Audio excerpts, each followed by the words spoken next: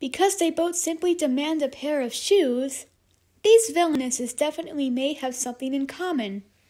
Which is why, today, I am going over the friendship from a former life of the Bad Seeds, Rhoda Penmark, and the Wizard of Oz, Elphaba, also known as the Wicked Witch of the West.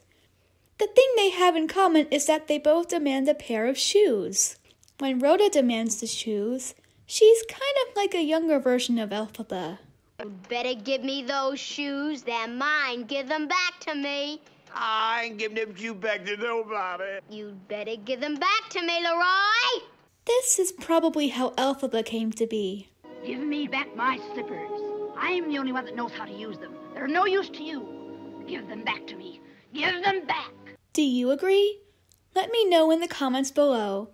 Also, be sure to subscribe and ring the bell to get notified about my latest videos.